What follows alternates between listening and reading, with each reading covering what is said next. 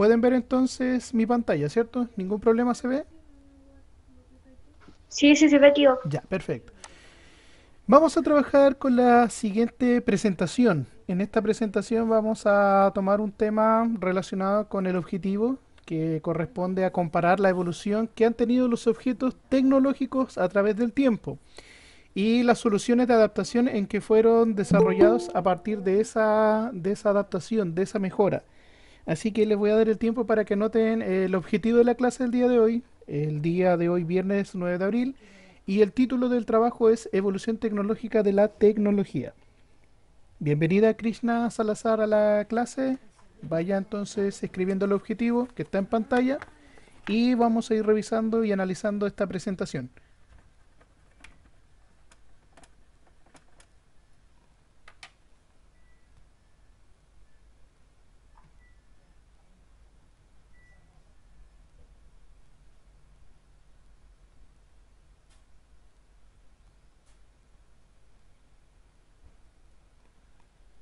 Ya, ¿continuamos?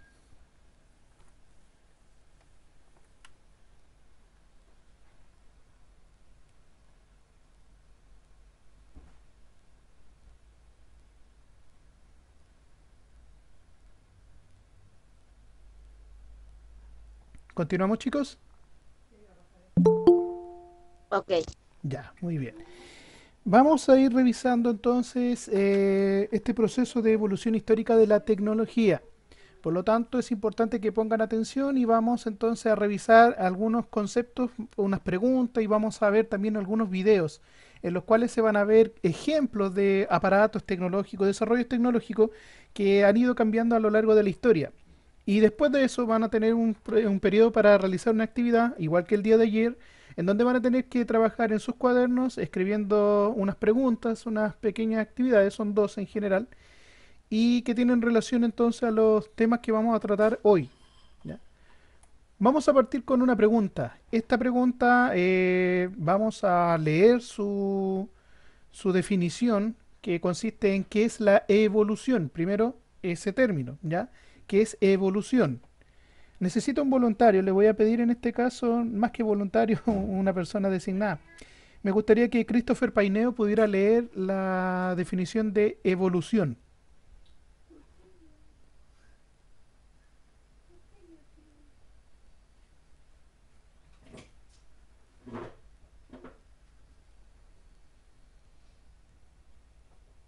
Tío, todo esto se escribe, ¿no es cierto? No, no hay que escribirlo. Ah, ya. Christopher Paineo está o no? Sí, profe. Ya, ¿puede leerlo?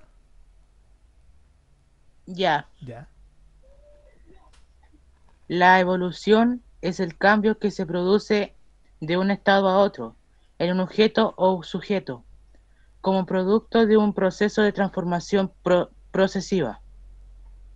Puede, rece- puede referirse a cambios genéticos en una especie al desarrollo de una persona, biológico o cualitativo, cu- cualitativo y a, a la progresión de etapas históricas a la fase de una situación o a la transformación de un objeto y de la naturaleza en general. Muy bien. Entonces, eh, a partir de la lectura realizada por su compañero sobre el concepto de evolución, lo que podemos tomar en, en cuenta es que la evolución es un proceso de transformación, de cambio. Puede ser de cualquier cosa, por ejemplo, de una persona, un, un animal, algo que tenga vida, pero también puede ser de objetos, de algo inanimado, algo físico, algo que se puede manipular, pero también incluso desde el punto de vista histórico también se podría evidenciar una evolución, un cambio, una transformación. Por ejemplo, desde el punto de vista eh, de una persona, de un ser vivo, se pueden ver eh, cambios desde el punto de vista biológico o cualitativo, ¿ya? Cuando hablamos de cambios biológicos, por ejemplo, eh, algo tan simple como la evolución de las especies. Por ejemplo, el ser humano no siempre fue un Homo sapiens como es la especie actual, ni lo va a ser durante el futuro, a lo mejor lejano o más próximo, de la misma forma en que hoy día nosotros nos vemos eh, físicamente. Hace miles de años atrás, por ejemplo, el ser humano no tenía las mismas características físicas. No eran tan altos, no tenían, por ejemplo, los brazos tan desarrollados o las manos tan especializadas para manipular objetos. No tenían un cerebro que les permitiera comprender a un nivel superior las cosas que están en nuestro medio ambiente y también manipular, obviamente, las cosas prácticamente que están en nuestro alrededor. Y por lo tanto, este proceso se le conoce como la evolución de la especie humana. Hubieron distintas especies. Hace 4 millones de años atrás apareció una especie de primate homínido conocido como el Australopithecus. Luego apareció el famoso Homo erectus, el Homo habilis. Hubo una especie que estuvo adaptada muy bien, por ejemplo, a los climas fríos, cuando estuvo la época conocida como la era de hielo, o la glaciación, como era el hombre de Neandertal. Pero finalmente apareció un ser humano que se adaptó a su medio ambiente y obviamente sobrevivió hasta el día de hoy, convirtiéndose en la especie dominante en el planeta, que en este caso seríamos nosotros, los Homo sapiens. En el aspecto cualitativo, por ejemplo, las personas a medida que aprenden, conocen, se desarrollan, van aumentando su evolución, por ejemplo, del punto de vista psicológico. La educación permite que una persona tenga herramientas, no es lo mismo comparar a una persona que no sabe leer con alguien que sí sabe leer. ¿ya? La persona que sabe leer tiene mayores capacidades cognitivas, piensa mejor, comprende mejor y desarrolla mejores habilidades que alguien que lamentablemente no aprendió esa habilidad, que es saber leer, escribir. Y si nos vamos a un punto de vista ya más eh, desarrollado, por ejemplo, una persona que sigue estudiando, que se especializa, tiene un desarrollo cualitativo, ya en capacidades, eh, en algo que no se puede ver, ya no en cantidad, sino en calidad, eso significa cualitativo, que lo diferencian de una persona que a lo mejor tiene la educación más básica. El que sabe leer, escribir y contar, sabe más que alguien que no todavía no sabe leer, no sabe escribir, no sabe contar, no sabe lo que es una operación matemática, no sabe lo que es, eh, por ejemplo, una investigación, no sabe interpretar una lectura, información que está escrita, pero no toda la gente desarrolla su intelecto de una manera eh, cualitativa. Eso quiere decir en calidad. ¿ya? Bienvenidas las personas que se van conectando eh, a nuestra clase. Saludo, por ejemplo, a Joaquín Freire, a Danitza Navarrete, que se conectó últimamente, también a la Antonella Curiqueo. Había una pregunta que me cuestionó ahí Martina, ¿dónde está el objetivo de la clase?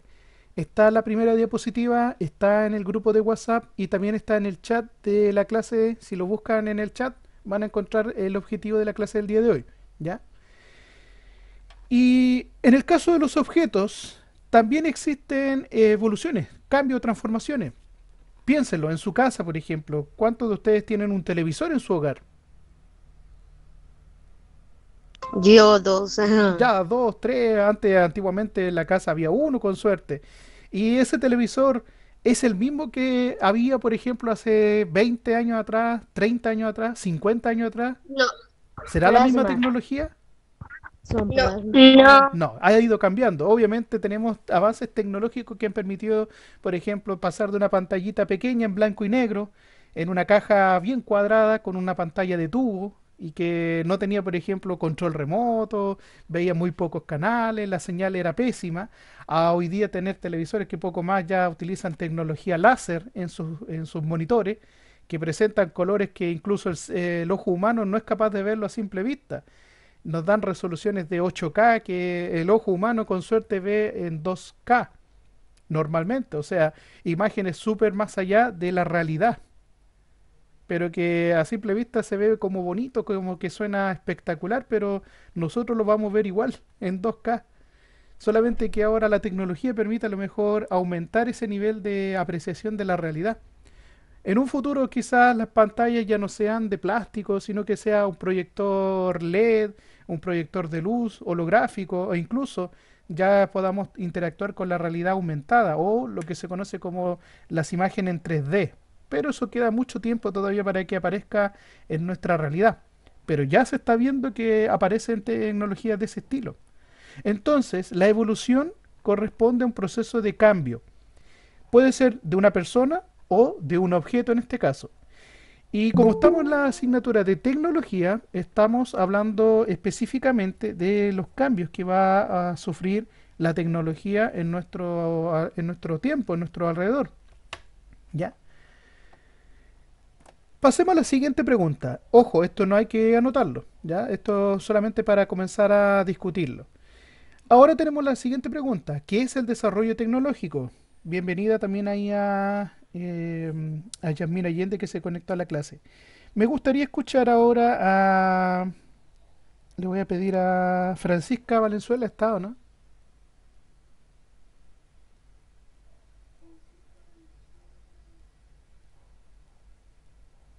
¿Está presente, no? No, ya no está. ¿No está? Ya. Eh, otra persona que no sea la misma de siempre. Eh, a ver, a, a Krishna Salazar. Me gustaría escucharla. Hace tiempo que no la escucho. ¿Está ahí o no, Krishna?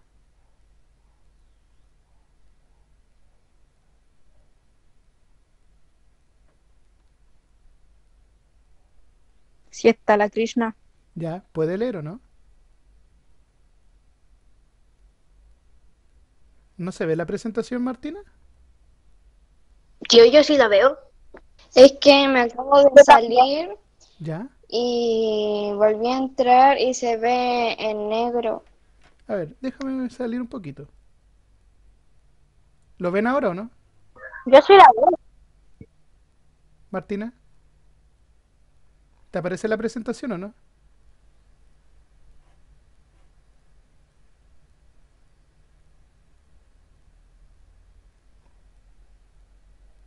Ya.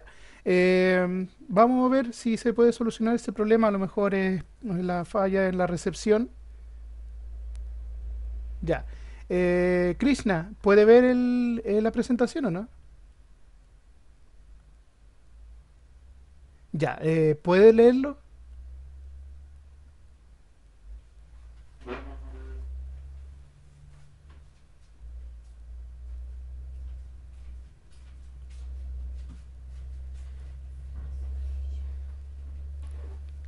El desarrollo tecnológico es un avance en la eficien- eficiencia técnica con la que los recursos son usados en la producción.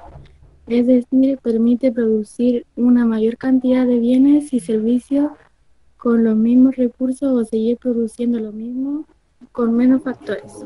Ya, muy bien, perfecto. Entonces, el desarrollo tecnológico, a diferencia de la evolución tecnológica, por así decirlo, la evolución sería eh, los cambios, las transformaciones. Pero el desarrollo tecnológico lo que intenta eh, encontrar es aprovechar al máximo o sacarle el mayor provecho a los recursos disponibles. A lo mejor eh, utilizando los mismos materiales, pero dándole mayor eficacia, reduciendo quizás los costos o bien mejorando la función de cierto objeto. Eh, por ejemplo, los televisores, ya está- teníamos ese ejemplo eh, mostrado previamente. No siempre han sido iguales. Antiguamente los televisores eran eh, con pantallas de tubo, de esas que tenían como una pantalla redondeada, muy, muy grande, como si fuera una ampolleta gigante. No eran televisores con pantalla plana como hoy día lo tenemos. Hoy día los televisores tienen esas pantallas planas, utilizan los mismos materiales, los plásticos, los circuitos electrónicos, los cables de cobre, eh, pero ya no, no se utilizan en grandes cantidades.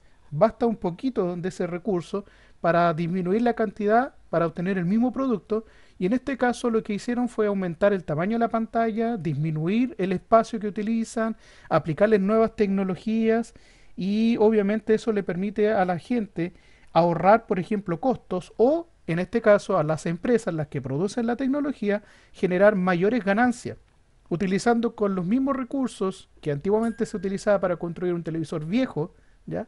Podríamos utilizar esos mismos, esa misma cantidad de recursos para hacer tres televisores o cuatro televisores, pero de mejor tecnología. Eso es el desarrollo tecnológico. Y es para eso que se utiliza mucho en la optimización de los recursos naturales o los que se emplean para la producción de un objeto. ¿ya? tal como aparece ahí en la definición, permite entonces producir una mayor cantidad de bienes y servicios con los mismos recursos o seguir produciendo lo mismo pero con menores factores ¿ya? o con menor costo. Continuamos entonces.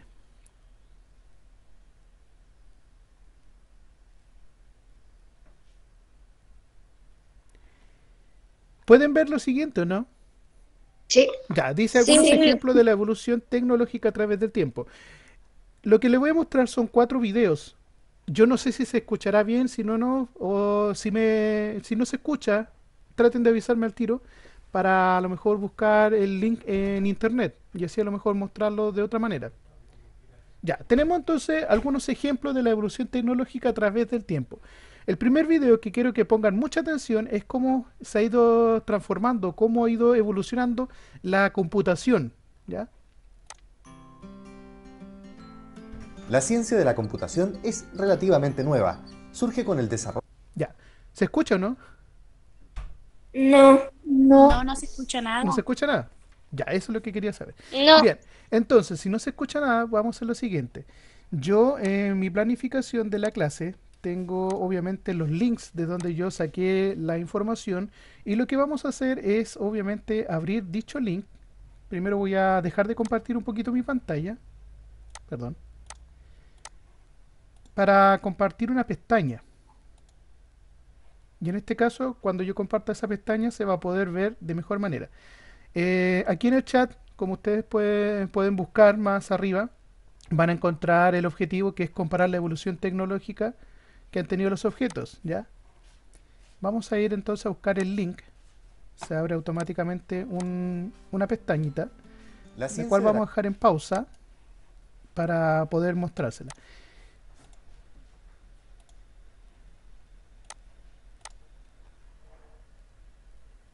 Ya, eh, pueden eh, verla ahora, ¿cierto? Sí. Sí. Ya, voy a apagar mi micrófono para que ustedes lo puedan ver con mejor detalle y escuchar. La ciencia de la computación es relativamente nueva. Surge con el desarrollo de la mecánica y la industria a principios del siglo XX. Por un ratito, ¿Se escucha ahora? Sí, profe. Ya. Sí. Ya, entonces ahí vamos a dejarlo ahora para que ustedes pongan atención. Y piensa en todo lo que puede hacer un computador. Exacto, los computadores muchas veces hacen cosas de humanos. Calcular, ¿Me traes memorizar, agua, moverse, enviar correos, jugar. Pero para lograr esto es necesario que una persona le diga exactamente qué, cómo y cuándo hacerlo. O sea, lo programe. Ah, Si los computadores y los programas trabajan juntos, la programación en realidad se trata de dar órdenes. Pero, ¿cómo llegamos a la informática de hoy? La historia es larga, desde el ábaco hace más de 4.000 años, pasando por un comerciante de textiles que, en 1800, demostró que las máquinas podían ser controladas por sistemas binarios al ordenar códigos de ceros y unos para dar instrucciones a un telar. Harta agua ha pasado bajo el puente hasta hoy. La historia es muy interesante.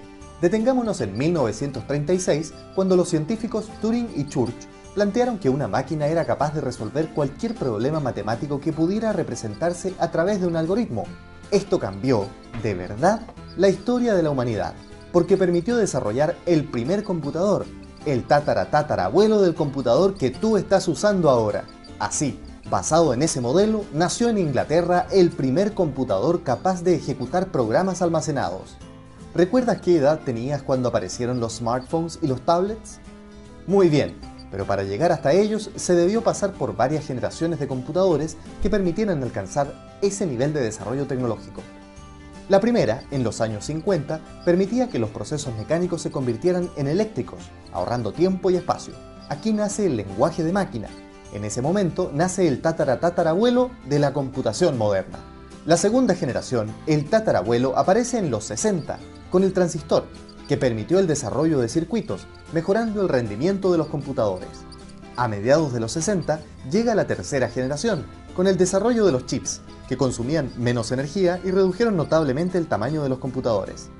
El bisabuelo de tu computador seguía siendo manejado solo por ingenieros, físicos y matemáticos en las grandes compañías. La cuarta generación, en los años 70, está marcada por la aparición del microchip y el desarrollo del microprocesador que pusieron los computadores personales al alcance de todos. El abuelo de tu computador empezó a ser usado en empresas más pequeñas e incluso en las casas. La quinta generación nace entre los 80 y 90, con los sistemas operativos de interfaz gráfica y la aparición de Internet, y probablemente fue cuando tus padres tuvieron, por primera vez, un computador enfrente. Como ves, la evolución de los computadores se debe a un gran proceso de investigación para desarrollar la inteligencia artificial, para que las máquinas puedan pensar por sí mismas. Hoy deberíamos estar pasando por una sexta generación, con tu notebook, smartphone o tablet. Aunque ese cambio de generación no se ha definido con exactitud, lo que sí está claro es que ahora es el usuario, o sea tú, el que puede tomar el control de su máquina. Ya no solo somos usuarios pasivos de nuestros computadores, ahora también podemos decidir, diseñar y programar nuestras propias aplicaciones. ¿Cómo hacerlo? Bueno, simplemente podemos usar herramientas de las ciencias de la computación, una disciplina que se viene estudiando hace ya medio siglo. ¿Cuáles son sus materias? Teoría de la computación, algoritmos y estructuras de datos, metodología y lenguajes de programación, arquitectura de computadoras, software, inteligencia artificial, redes y telecomunicaciones, sistemas de bases de datos, interacción persona-computador. La computación es el pilar de la actual era de la información. Gracias a ella podemos usar Internet, saber qué contiene el genoma humano, podemos ver imágenes hechas por computador en televisión, cine, publicidad, la animación y los videojuegos. Esta misma presentación. Incluso tienes la posibilidad de programar y crear tu propio software. Como ves, la informática es algo que se seguirá desarrollando y tú puedes ser parte de ese futuro.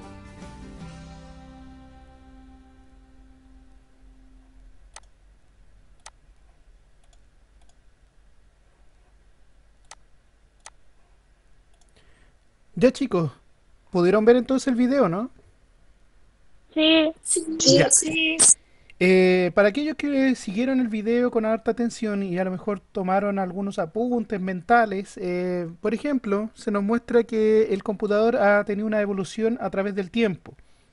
Y la computación no es algo nuevo, por así decirlo, sino que hace miles de años ya existían en ciertas culturas o civilizaciones inventos que permitían calcular o realizar cómputos. De ahí viene la palabra computación, que es en este caso eh, poder eh, ingresar información y realizar ciertas operaciones, que lo podríamos hacer nosotros mismos, pero que a través de máquinas o de dispositivos se puede facilitar el desarrollo y eh, la resolución de problemas.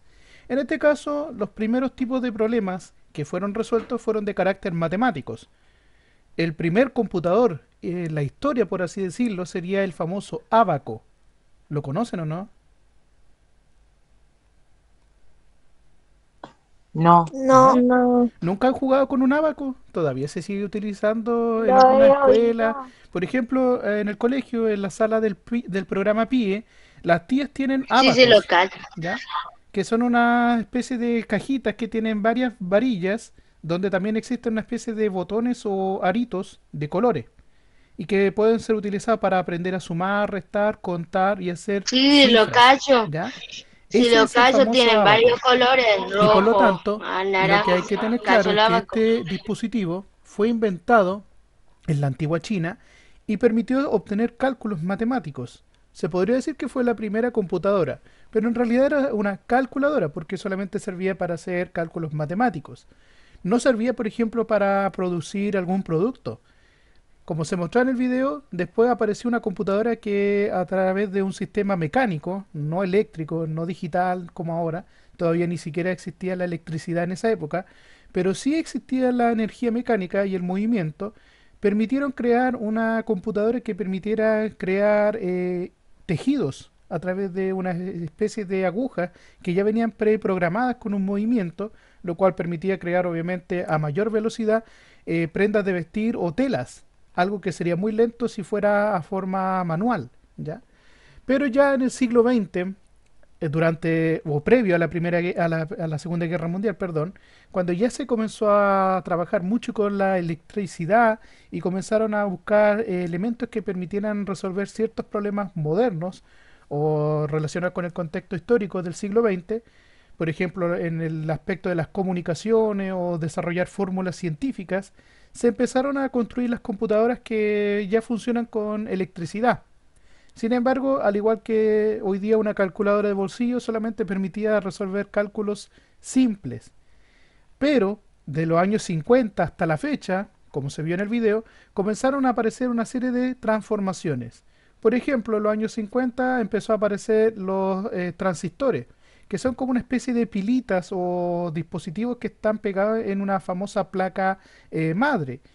Para aquellos que alguna vez han tenido la curiosidad de qué es lo que hay dentro de una radio, de un televisor, de cualquier aparato, y lo ha desarmado alguna vez, se habrá encontrado con que existen como una especie de placas de plástico de color verde o de color eh, ámbar, como color naranjo café, donde hay varios circuitos eléctricos y hay varias cositas que están pegadas, eh, transformándose entonces en una especie de conductor de información a partir de la electricidad. Después, en los años 60, aparecieron los chips, ¿ya? que eran dispositivos electrónicos que podían facilitar a mayor velocidad el procesamiento de información. En los años 70 apareció el microchip y los procesadores que hoy día tienen, por ejemplo, los teléfonos, los televisores, los vehículos, las computadoras, obviamente, y que permiten que un computador funcione como tal. El procesador es prácticamente el cerebro del computador. No es el disco duro como la mayoría piensa. El disco duro sirve para almacenar datos, pero no, no hace las funciones de procesar la información, de hacer que la pantalla, por ejemplo, muestre colores, muestre imágenes, muestre letras. Eso lo hace el procesador, quien obviamente procesa la información, de ahí viene su nombre. Y a partir de los años 80 se comienza a masificar y comienza a reducirse el tamaño de las computadoras. Hoy día usted también tiene una computadora en su casa, y algunos, aunque no lo piensen, el teléfono es una computadora portátil. ¿ya? Hoy día los, los teléfonos, más que nunca, tienen interfaces que se asemejan mucho a los computadores de casa, ya sea un notebook, sea un computador de escritorio, sea un computador eh, científico o de una gran empresa. Un teléfono puede hacer cosas que antiguamente eran como muy difíciles de lograr. ¿Qué puede hacer usted en su teléfono?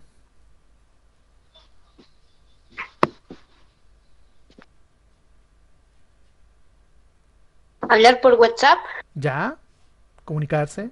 ¿Qué más? ver videos, Ver videos, fotos, escuchar música, ¿cierto? Jugar, sacar información. buscar información, navegar, perfecto, hacer trabajos e incluso negocios. ¿Por qué no? ¿Cierto? Hoy día existen las famosas aplicaciones de ventas como los delivery, los pedidos, etcétera, y uno puede utilizar su teléfono como una computadora portátil de bolsillo.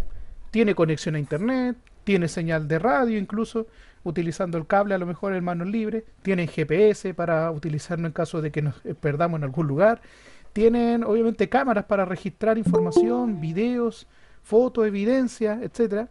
Eh, tienen también opciones para ir obviamente trabajando en programas como el procesador de texto, mandar correo electrónico, etcétera, una infinidad de cosas que antiguamente solamente podía hacer o una computadora o una consola de videojuegos o un proyector con un DVD, por ejemplo, para ver una película en la tele.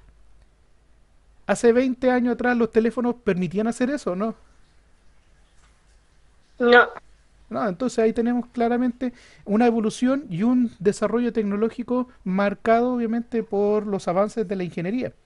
Quizá en el futuro los teléfonos no vengan con pantalla, sino que vengan con un proyector holográfico y lo vamos a llevar pegado a lo mejor en la muñeca, como si fuera un reloj, así como las películas de ciencia Ojalá, ficción, como en Star Wars, como en Star Trek, como en cientos de videojuegos que muestran tecnología futurista que se ve lejana, pero que en el futuro puede que sea lo más común y corriente.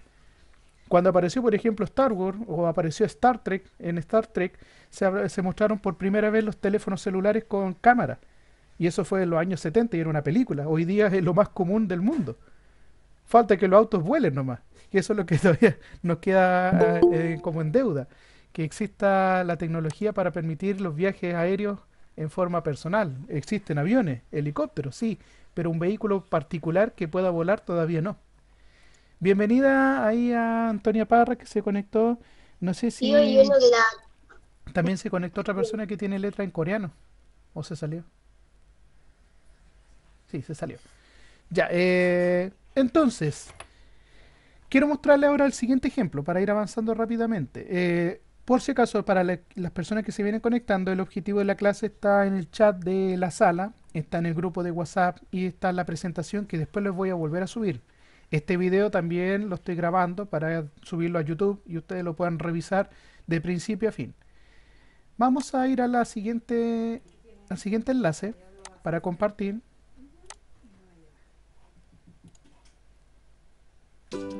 La historia del teléfono móvil o celular, como es conocido en América, es una interesante historia de desarrollos, innovaciones tecnológicas y descubrimientos científicos que han permitido que sea un dispositivo indispensable en nuestro día a día. Aunque ahora es muy diferente de lo que lo era en sus inicios, se trata de un dispositivo de telecomunicaciones independiente que permite realizar distintas operaciones como realizar llamadas o enviar mensajes de texto, además de acceder a Internet y a millones de aplicaciones digitales, algunas de uso masivo. Vamos a ver los mayores hitos de la telefonía móvil a través de una cronología temporal. En 1973 se crea el primer prototipo de teléfono móvil de la historia, el Motorola Dynatac 8000X. Curiosamente, la primera llamada la realizó Martin Cooper a Joel Engel, de una empresa competidora, los laboratorios Bell de AT&T. Pesaba nada menos que un kilogramo y su batería duraba apenas una hora. Y pasamos a 1982.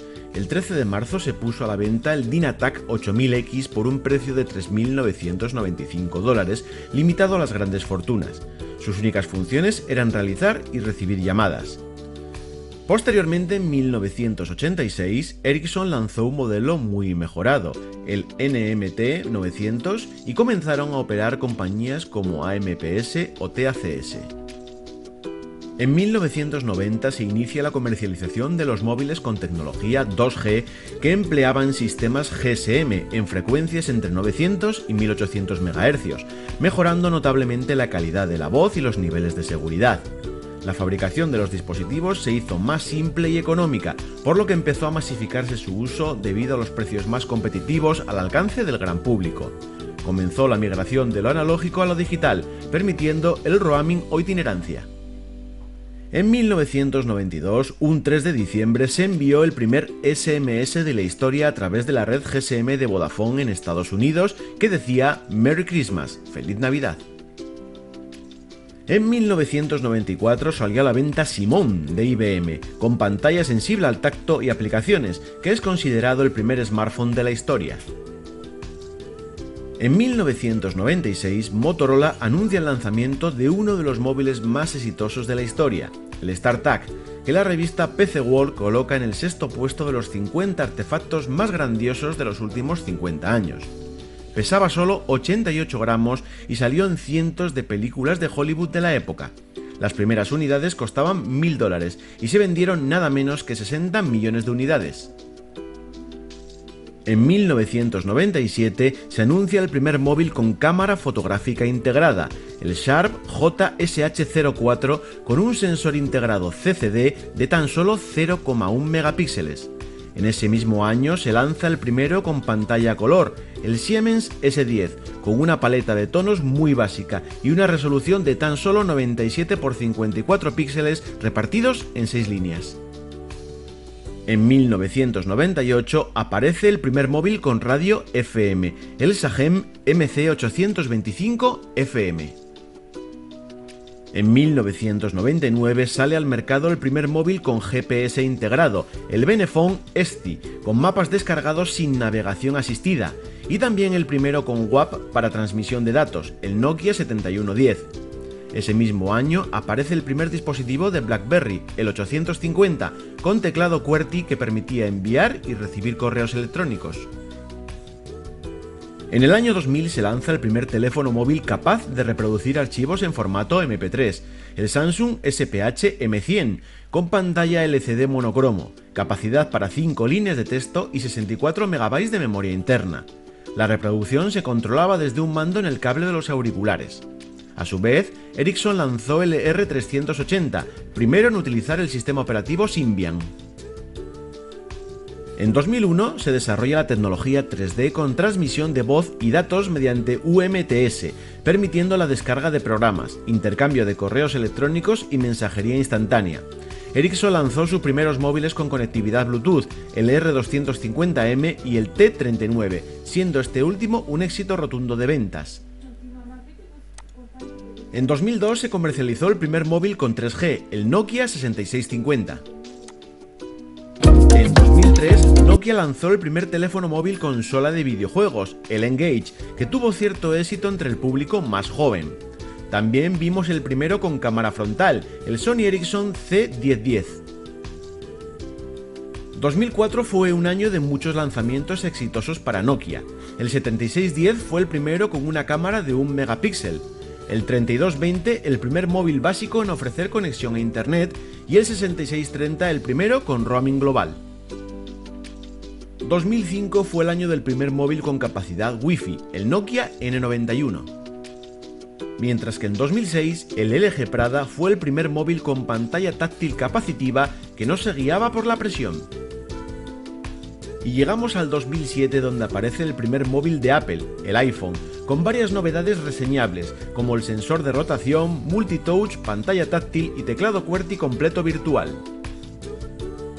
En 2008 se comercializa el iPhone 3G, con una tienda de aplicaciones que le hicieron destacar de la competencia, ese mismo año sale al mercado el primer móvil con sistema operativo Android, el HTC Dream, y Nokia lanza el N85, primero con pantalla OLED. En el año 2009 se produce el auge en las aplicaciones para teléfonos inteligentes con el lanzamiento de cientos de miles de apps en la Apple Store para iOS y en la Play Store para Android. En 2010 se inicia la comercialización de teléfonos móviles 4G, el primer modelo compatible fue el HTC Evo. En 2011 sale al mercado el primer móvil de doble núcleo, el LG Optimus 2X o LG P990. Además, es el año en el que empezamos a poder pagar con el teléfono móvil y comienza la era de las pantallas XXL con el Samsung Galaxy Note de 5,3 pulgadas. En 2013, Samsung consigue el primer móvil con pantalla curvada, el Galaxy Round, mientras que en 2014 LG lanzó el Flex, que fue el primer móvil curvo, y Yotaphone el primero con pantalla de tinta electrónica. En el año 2015, Sony lanzó el primer móvil con resolución 4K, el Xperia Z5 Premium. 2016 será recordado por el lanzamiento del primer móvil modular, el Motorola Moto Z Play, que podía convertirse en un proyector, cámara 360 o videoconsola. En 2018, Vivo es la primera compañía en lanzar un móvil con lector de huellas bajo la pantalla en su modelo X20 UD. Y finalmente, en 2019, Xiaomi se adelanta al mercado lanzando el primer móvil 5G, el Xiaomi Mi Mix 3 5G, mientras que Samsung hace lo propio con el primero plegable, el Galaxy Fold.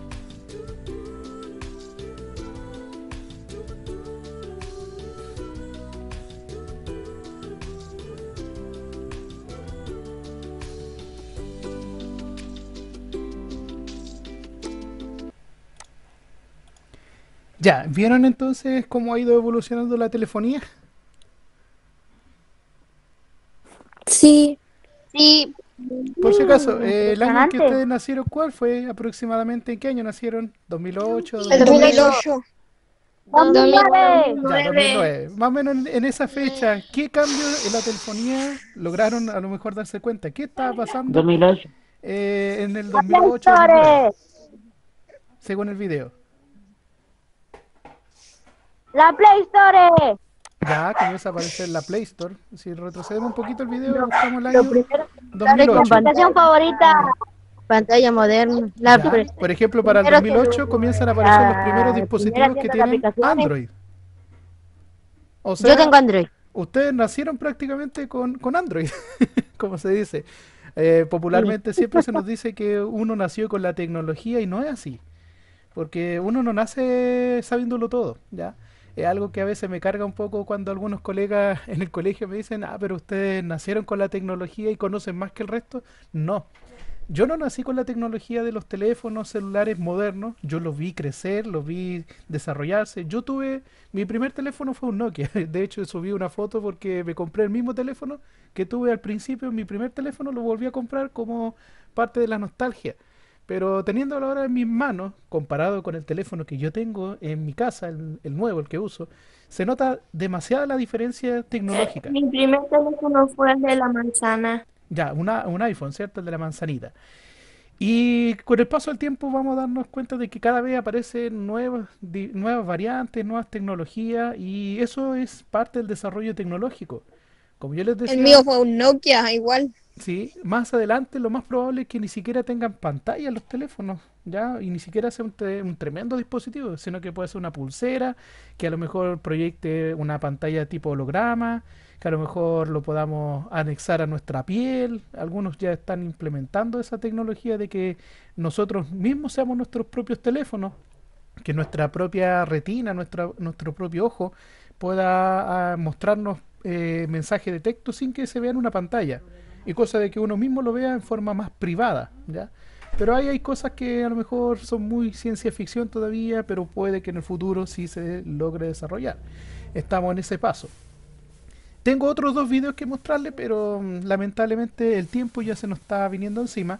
Eso sí, lo van a poder revisar cuando comparta el material en el grupo de WhatsApp. Lo van a poder descargar, la presentación. Va a ir incluido en los videos. Y si no, les comento los links para que lo puedan revisar más tarde. Lo que yo quiero ahora en este momento es hacer eh, una revisión de las actividades. Los otros dos videos tenían que ver, por ejemplo, con la evolución que ha tenido el automóvil o los vehículos motorizados y también el televisor, ¿ya? Pero yo creo que ya captaron más o menos la idea de que las cosas no siempre son iguales a lo largo del tiempo. Se van mejorando, se van desarrollando, se va adaptando y se va obviamente reduciendo costos o maximizando el uso de los recursos. Ya se veía, por ejemplo, en el video que eh, los teléfonos, los primeros teléfonos que se empezaron a desarrollar y vender, tenían un costo bastante alto. Yo creo que ustedes no tienen idea de cuánto cuesta el dólar a lo mejor, o cuánto es en cifras de pesos chilenos el primer teléfono. El primer teléfono mostraban ahí que valía 3.995 dólares de la época, en el año 70.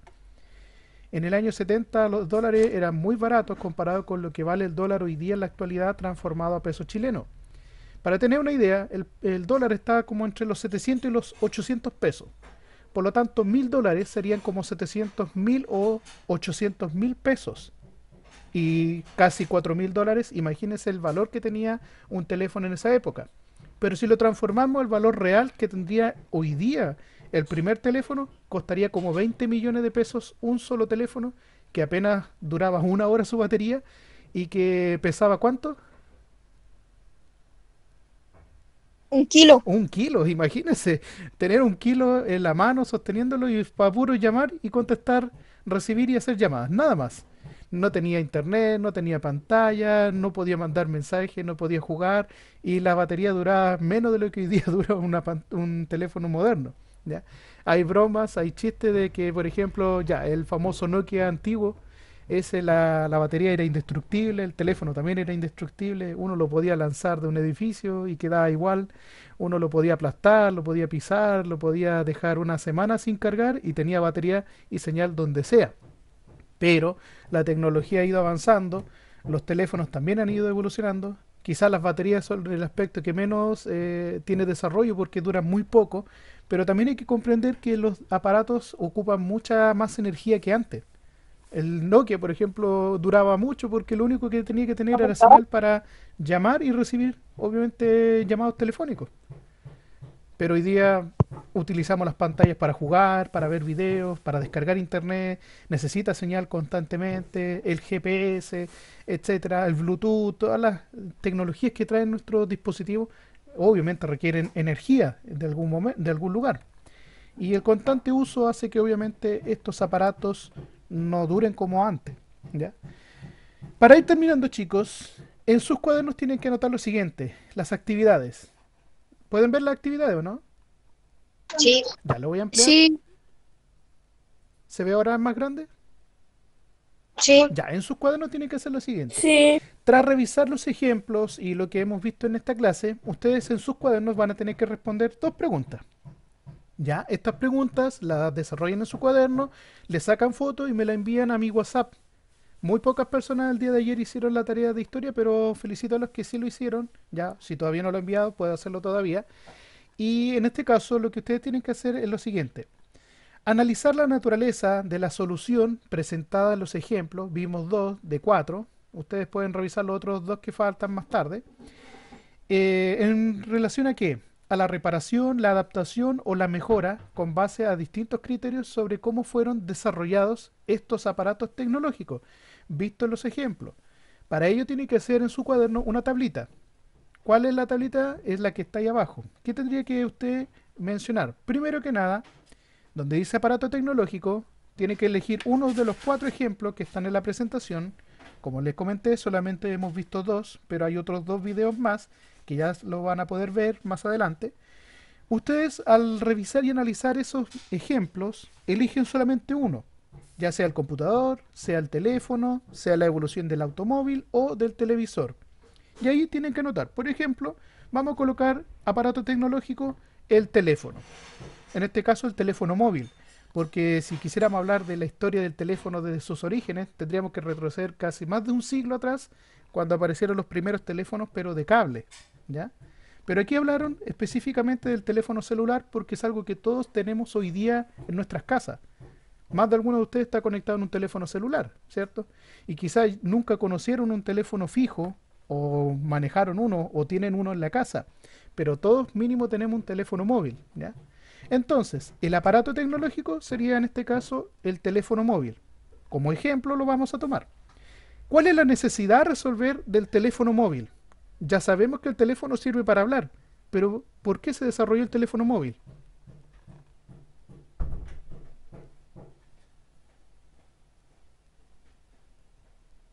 ¿Por qué sería que Para- hicieron el teléfono móvil? Para ampliar la comunicación. Ya, pero el teléfono fijo también me permite comunicarme. Pero ¿cuál es la ventaja que tiene el teléfono móvil con respecto al teléfono fijo? Se puede, hay más entretención, más formas de usarlo. Ya, Tiene más portátil. internet. es lo pones por portátil, muy bien. Es lo mismo que pasa con el computador. El otro ¿cierto? es fijo, ¿no? Exacto, es fijo, yo no lo puedo llevar en el bolsillo, no lo puedo llevar de viaje, no puedo llevarme conmigo un tremendo cable de 20 millones de kilómetros para poder comunicarme si voy de un lugar a otro, ¿cierto? Sería como tener un, un, por ejemplo, una moto eléctrica para viajar de mi casa al hogar, pero la moto eléctrica tiene que estar enchufada, sería imposible. ¿De dónde sacaría un tremendo cable para llevar todo el rato la moto encendida? ¿Cierto? Ah, pero se desarrollaron tecnologías para permitir la movilidad, en este caso las baterías. ¿Cierto? Entonces, la primera necesidad a resolver fue la movilidad y obviamente el estar comunicado constantemente. Por eso se inventó el teléfono móvil. De ahí vendrían algunas de las adaptaciones, como bien mencionó, por ejemplo, Miguel, que una de las adaptaciones tecnológicas es que primero tenían botones, después empezaron a tener pantallitas de tipo calculadora, de colores como el- el- la pantalla verde o la pantalla azul. Después aparecieron las primeras pantallas color. Fue una adaptación tecnológica. Se incorporó nuevas tecnologías como el, el 2G, el 3G, 4G. Hoy día se está incorporando el 5G, que es una tecnología que permite la mejor eh, comunicación o la transferencia de datos mucho más rápida. Especialmente ahora que estamos usando mucho Internet. ¿Ya? Otras cosas que se agregaron fueron las cámaras, las pantallas táctiles y así. ¿Y cuáles fueron las mejoras evidenciadas en el diseño? Ahí yo creo que todos vieron cómo era el primer teléfono, ¿cierto? Era bonito Sí. el primer teléfono, ¿no?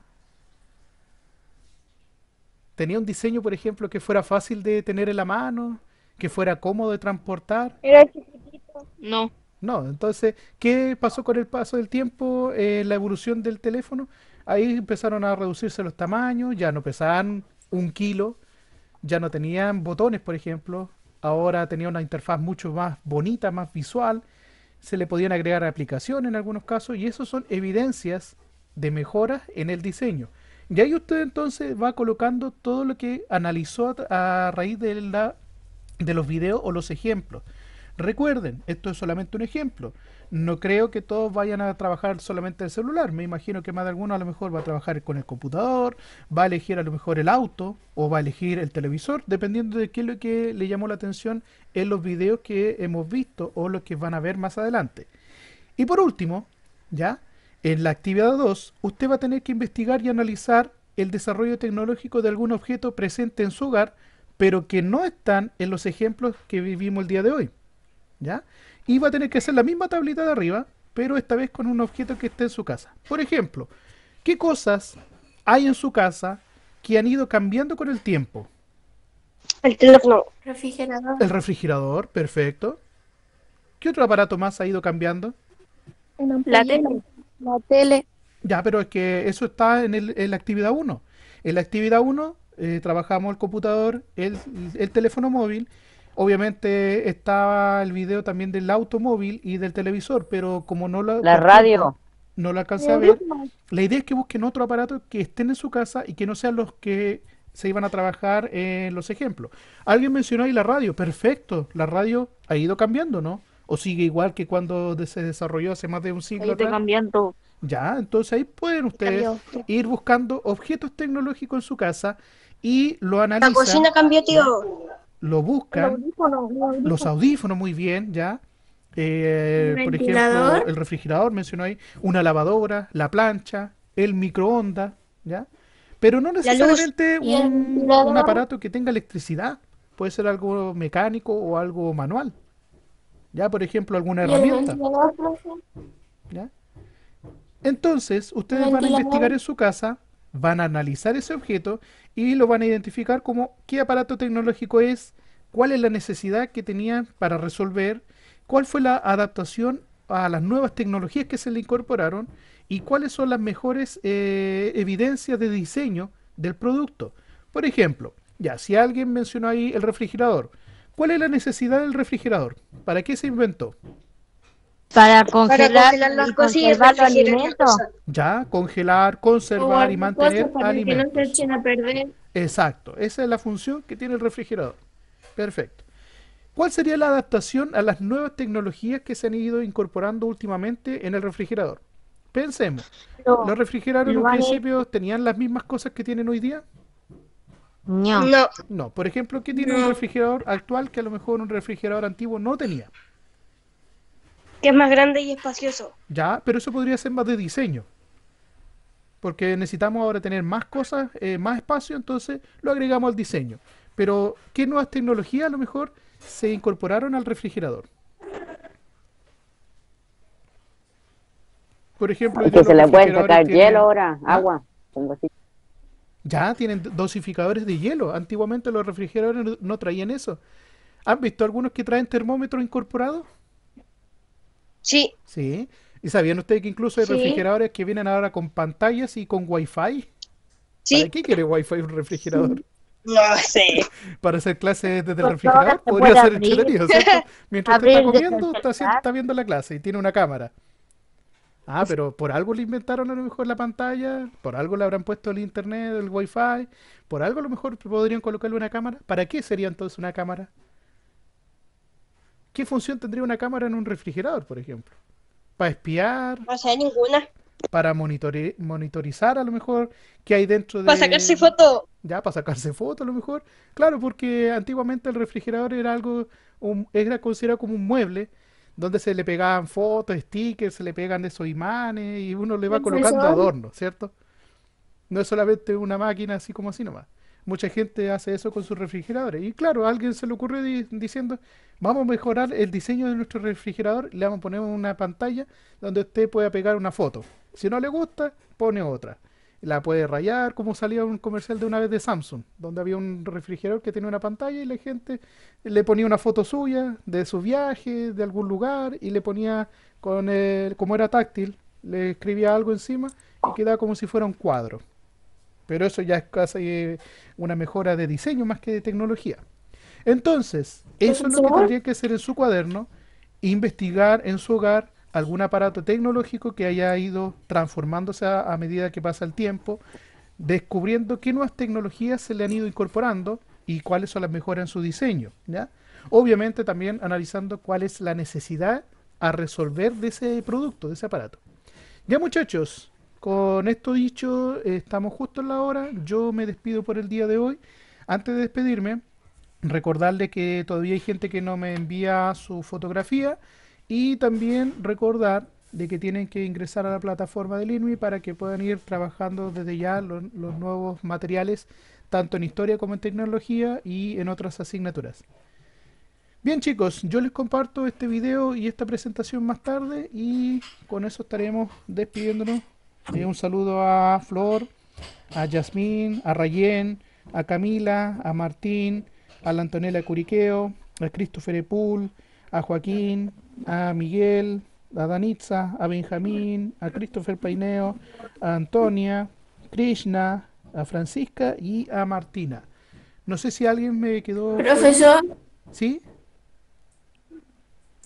eh, el, el refrigerador tiene algo nuevo que yo creo que antes no tenía, que es el sensor. Cuando abrimos el refrigerador o la puerta del refrigerador, Ya, muy bien, entonces ahí eh, tenemos ya... prende la luz, Perfecto. prende una luz y al cerrar se apaga. Ya, eso. Entonces ustedes van a tener que ir trabajando eh, con esas dos actividades, son súper cortitas. Una en relación a lo trabajado en la clase, visto con los ejemplos, y el otro donde ustedes tienen que investigar en su casa y analizar las transformaciones de ciertos productos tecnológicos. Ya muchachos, yo con eso entonces, como les decía, me despido por el día de hoy y nos estaremos viendo en la próxima clase. Chao, profe. Que estén Chao. bien. Chao, chao. Chao, profe. Nos vemos.